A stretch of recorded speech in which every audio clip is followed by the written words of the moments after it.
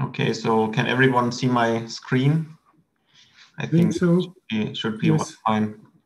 Okay, yes. so uh, thank you very much for the introduction. And it's of course a pleasure for me to give a talk here today. And as you already said, I want to also want to speak about Koopmanism, but now Koopmanism for dynamical systems on completely regular spaces. And this is based on a joint work with uh, Balint Farkas, who's also in Wuppertal. And I want to start with the classical situation. So basically, I recall some of the things Nikolai just told us in the last talk, but let's write them down again. So this is the first part of my talk. So topological dynamics, topological dynamics. And let's define again what a topological dynamical system is. It's slightly different than in the last talk, but it's basically the same. So what is a topological dynamical system? And classically, this is is uh, simply a pair x phi, and now my space is called x in contrast to Nikolai's talk. So uh, x phi is a topological dynamical system. Dynamical system. Well, if x is a compact space, compact space, and phi is a transformational semi-group or group action on that space. And in our case, or in this talk, I'm prim primarily interested in the in semi-flows, so in actions of R plus on of the positive reals. So what we consider here is a continuous map from R plus times x to x, mapping a time t and a point x to a new point in the space phi t of x. And this, as I said, should be continuous and it should be a semi-flow. So it should have the semi-flow properties. Phi zero is the identity on x, so at time zero, nothing happens. And then phi t plus s is the same as phi t composed with phi s for all times t and s larger equal to zero. Okay, so this is similar to what Nikolai just said. Uh, we, we just switched the group of the integers uh, to the semi-group R plus, but everything else is the same. Okay, and we have already seen some examples of topological dynamical systems in the last talk, but let me also give you a very simple example, which you all know in the, uh, in the time continuous case.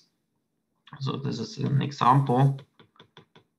Example, we just take x to be the one point compactification of the positive uh, reals, and the dynamics are just given by translation. So we take uh, point x and at t. So we just um, translate x with t.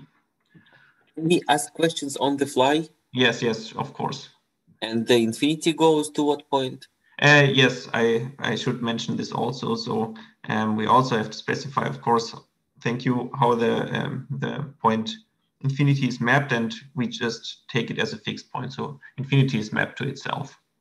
Thank you. So this is defined for all x larger or equal to zero and all times uh, also in the reals, uh, positive reals. Okay, so this is a very basic example of the topological dynamical system.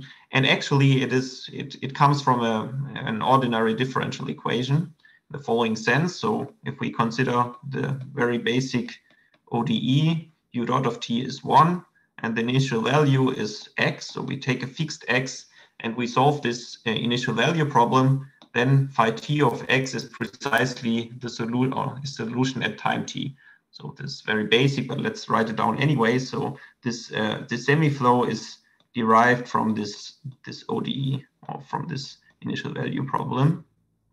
And of course, you can now use other other differential equations to define uh, or to obtain other semi-flows. So I will write this down loosely, but um, or informally. Um, so semi-flows, we can construct a lot of examples by uh, considering ordinary differential equations or so such initial value problems as above. So I will write this down like this. Okay, so this of course another motivation why we should look at such systems because if we are interested in properties of solutions of, uh, of ODEs, we are possibly or probably also interested in such topological dynamical systems and their properties. And you can now uh, examine such properties by means of topological dynamics, so uh, methods of topological dynamics. But as in the last talk, we want to use operator theory. We want to use linear functional analysis to study such such systems. And there, uh, there again, the Koopman uh, linearization comes into play. Let's also recall this concept re real briefly. So uh, this is the next definition. So given, yet, given now uh, such a such a topological dynamical system, let x phi be a topological dynamical system, we can define its Koopman semigroup, Koopman semigroup, semigroup T phi, and this is now a semigroup of op linear operators on the Banach space Cx, C of x, so T phi T, T larger or equal to zero. These are all operators on C of x, and they are um, they are defined in oh, something went wrong there. I'm sorry. Uh, so L of C of x. Okay, and how do we define them? Well, we just take a function and compose it with phi t for every f in c of x and time t. Okay, and in this way, as Nikolai has already told us, we obtain a global linearization of our dynamical system. So we started from any dynamical system, non-linear, whatever, and now we obtain uh, a semigroup of linear operators on the Banach space C of x.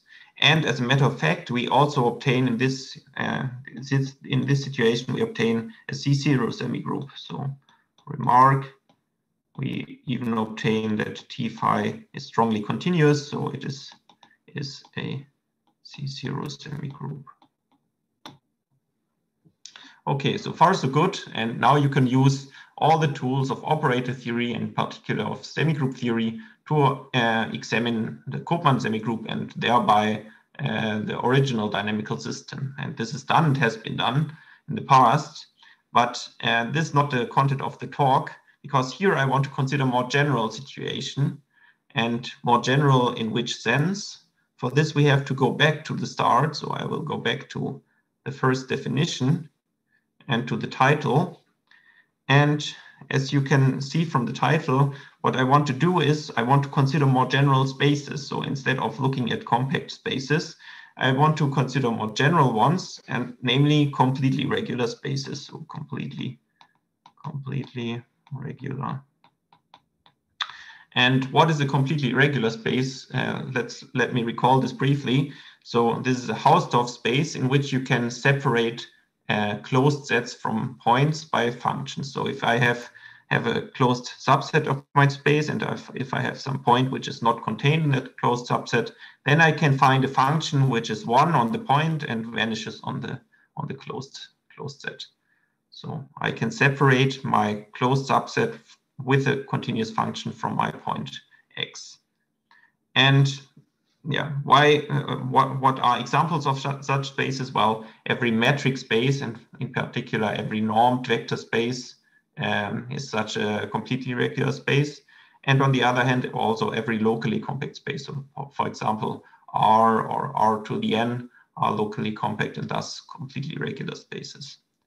Okay, and then of course the question is why should I even bother with such more general systems? Why are these interesting? And the reason are basically the examples. So let me also return to the examples now. Well, first of all, if we forget about compact spaces, we could uh, choose to not compactify here and just take the positive reals in the first example. But this is not very essential. What is more uh, essential is the following third example we can now consider, and that are semiflows arising from PDEs. So semiflows from PDEs. So it's before we could we we could um, examine semiflows arriving uh, arising from ODEs, but now we can also uh, look at semiflows arising from PDEs because let's say we have some Banach space E, so E is a Banach space, and you can imagine this is some function space, some LP space, or a space of continuous functions. And you have an operator on that space. So A from the domain of A. So this only defined on a subset of the Banach space. is some operator which is not necessarily linear. So just any map from a part uh, from a subset of the Banach space to E. And then you are interested in the solutions of the evolution equation, this nonlinear evolution equation. A u dot of t is a u of t, and u0 is some fixed initial value. So this is our, um, our problem. And for example, so you should now imagine A to be some differential operator, of course. So for example, you could look at um, Navier-Stokes equations or um, or uh, reaction diffusion equations and so on. So you have some nonlinear evolution equation. And in many situations, when you find a solution in some sense, then uh, this um, this gives rise again to a semi-flow of maps on the Banach space or on a subset of your Banach space.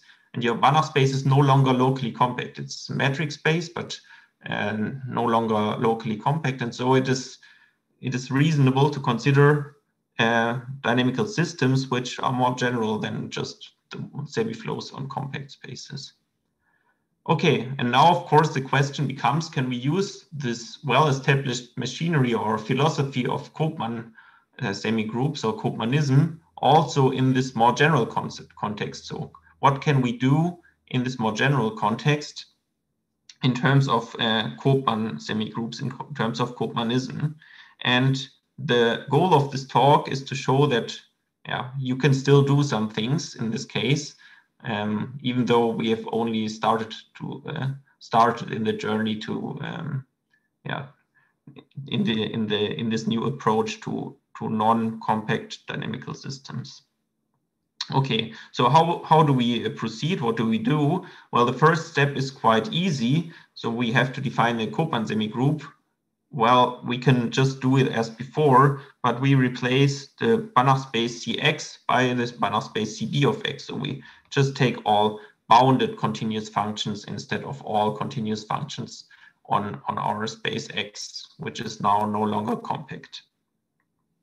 Okay, but now the first problem arises. This is here, namely in this remark, because now we do not have a C0 semigroup anymore, for example. This is one, one problem because, uh, for example, yeah, what is a, an easy example where you can see this? Just take the, the reals and the translation on the reals. So basically the semi-flow from, from earlier. And now you take uh, CB of R, so the uh, continuous bounded functions on, on the real numbers, then uh, the shift semigroup, which is the induced Koopman semigroup, is not strongly continuous. So if you have ever seen some lectures or uh, lectures on semigroup theory, you know, you know that the shift semigroup on the space of all continuous bounded functions on, on R is not, not a strongly continuous semigroup.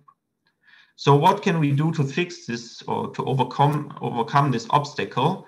And um, this is the second part of the talk. And oh, sorry, for this we have to um, to consider different different topologies on on the space CB of X. So the norm topology on CBX is not the right topology to consider um, for the purposes of Koopman linearization. And I want to want to now to propose or yeah present a, a topology which uh, which does the job. So let's talk about topologies topologies on the space CB of X.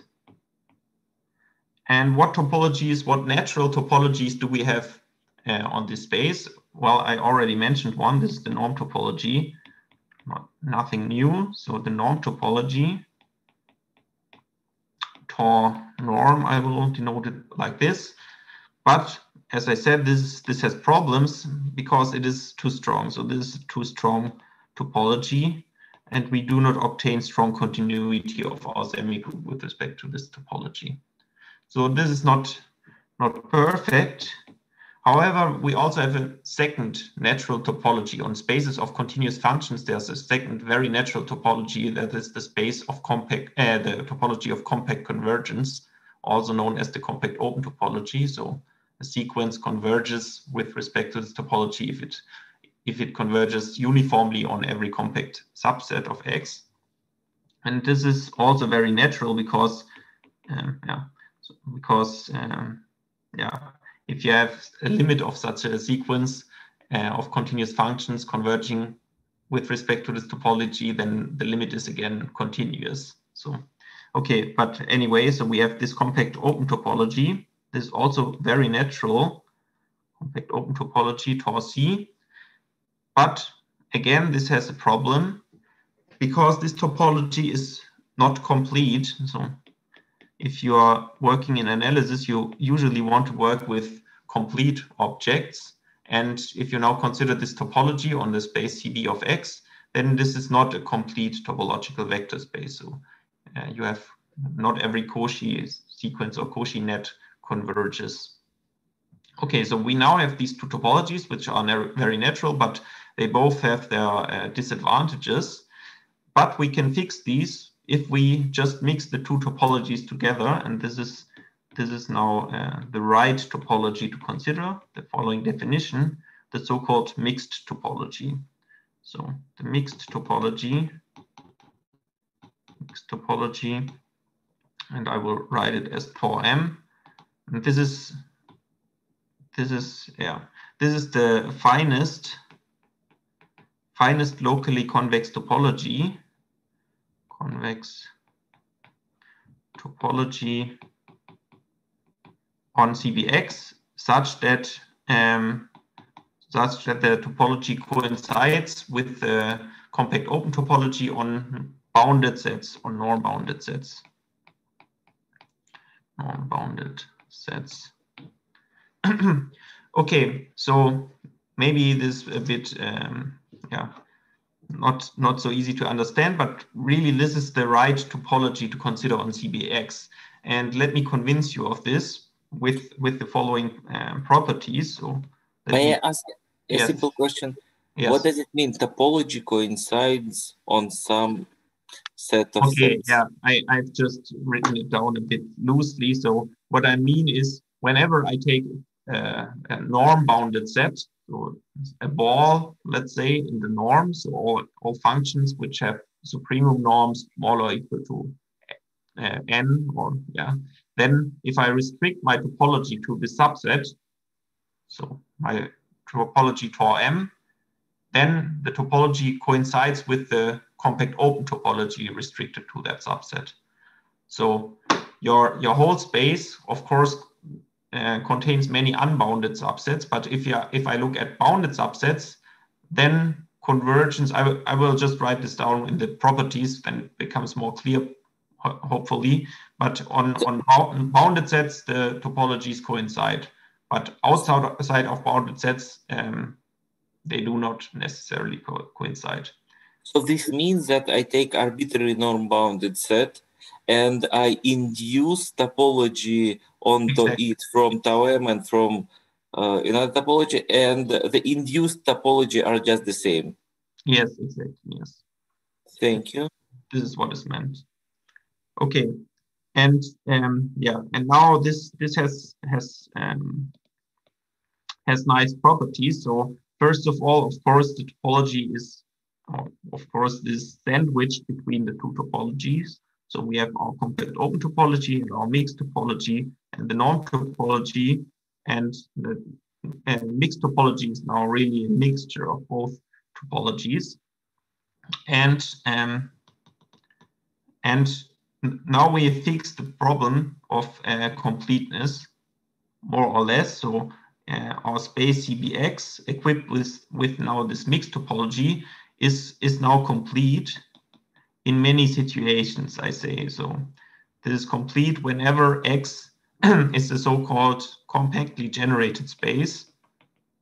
Compactly generated space, for example, so you do not really need the definition here, but because this is satisfied for, for almost all examples. For example, if X is a metric space or X is a locally compact space, these are all locally um, compactly generated, locally compact, and therefore your space CBX is now complete with respect to your mixed topology.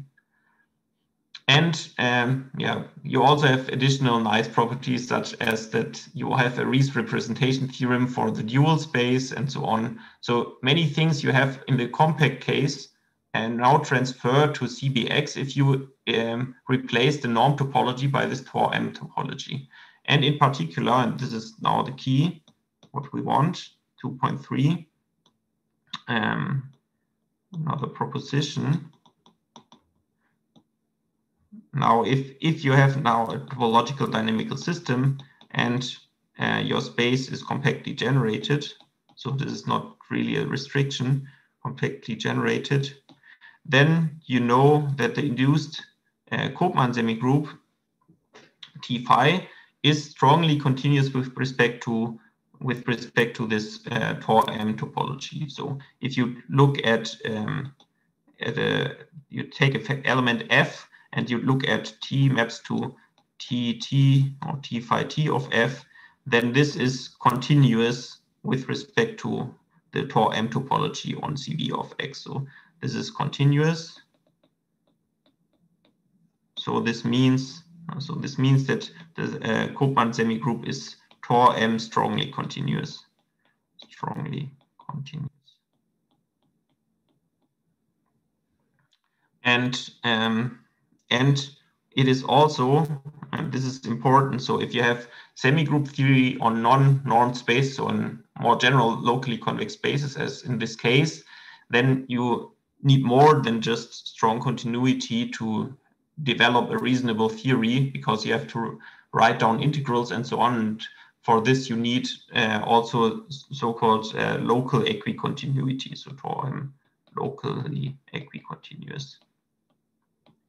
Equicontinuous. So in the norm case, this is automatic, but here this is an important property for semigroups on non-normed spaces. Okay, so what I basically wanted to tell you in this uh, in this talk is how to what what the right topology is on CBX to consider to consider Koopmanism for non uh, compact spaces, and the right topology is this mixed topology. This was also already uh, is or also already done in parts or in more general, uh, more special cases in a series of papers by Dorroh and Neuberger in the 90s.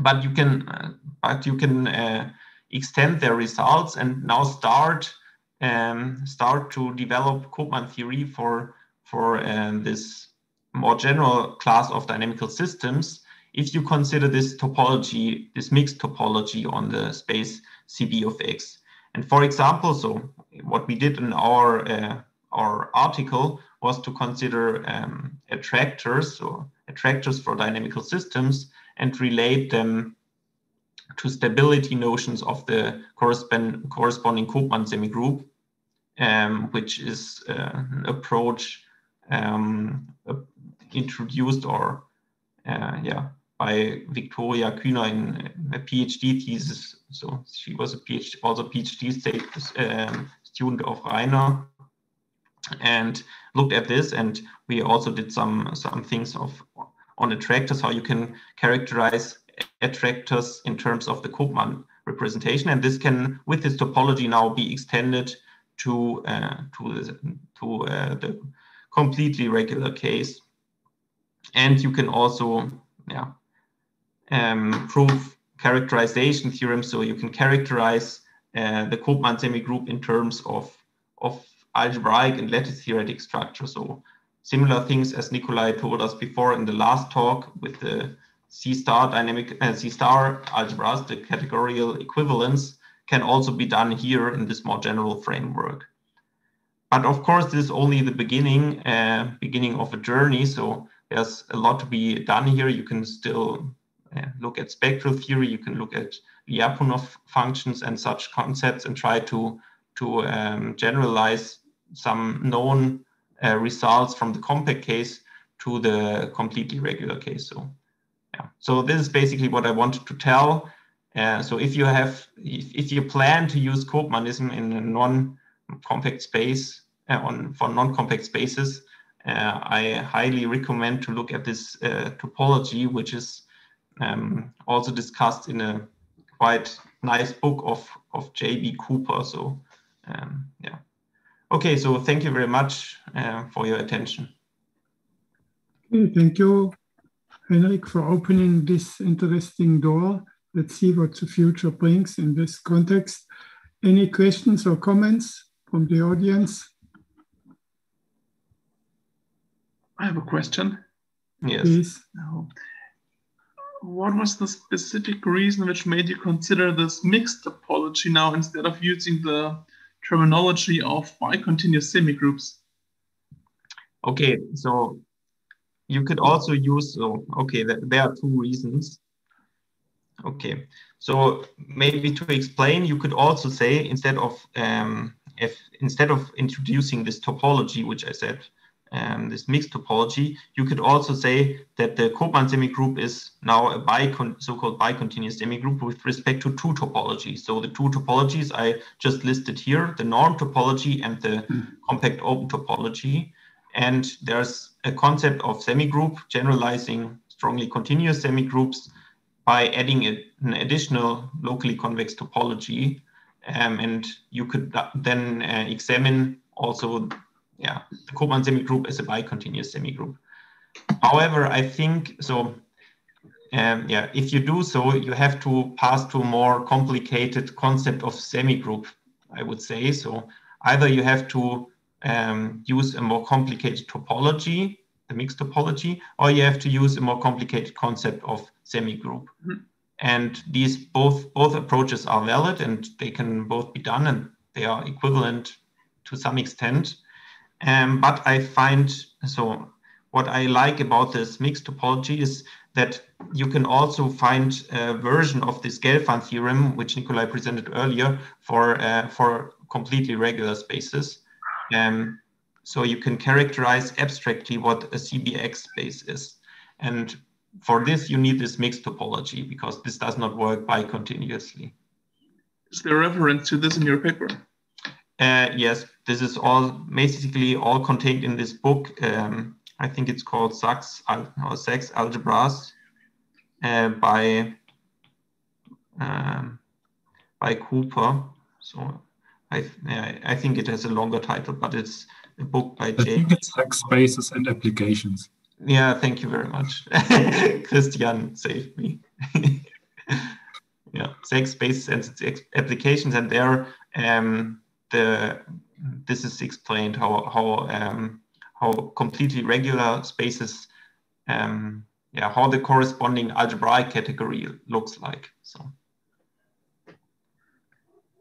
thanks good question okay um, Ivan, you have a question yes um, the uh, attracting sets attractors of nonlinear systems can be of uh, very uh, diverse, very difficult geometrical nature. There are strange attractors, there are some other, the, the, there is a big science about this. Uh, how can uh, one uh, see it from the perspective of the semi-group. For example, you told us uh, how one can distinguish between situations uh, when the system has attractor or does not has. But well, what can we say? Okay, suppose we have a, have an attractor. Can we say for at least does it has only one point set attracting or it has more than one point attracting set? Okay, so um, for this I can, um, so as I said, I can recommend um, this, this articles and this article and the PhD thesis of Viktoria Kühner, who discusses the connection between attractors. So there are many different kinds of attract uh, notions of attractors, of course, for dynamical systems, but there are also very different notions of stability for uh, for semi-groups, so strong stability, weak stability, and so on. And these are related. So if I have uh, an attractor so an attractor means I have a set which um, yeah such that every point is is attracted by the set in some sense, and the, you have to specify the sense in which it's it's attracted. But if you translate this, this means that if you, if I have a function, a continuous function on yeah on my uh, space, which vanishes here on my closed subset M, that's if M is the attractor, this means that the Koopman semigroup, so this vanishes on, on M, this means that the Koopman semigroup of this function goes to zero in some sense. So the attractiveness of the set corresponds to a stability property of the Koopman semigroup. And you can then relate different concepts of attractivity to different concept, concepts of stability. And yeah, you can also um, use this functional analytic approach to sometimes show the existence of attractors. So this is what we yeah, short, briefly discuss in our article. So in this article on Koopmanism on uh, regular, completely regular spaces. But yeah, what, about the shape, what about the shape of attractor? How can it be described in this infinite dimensional setting?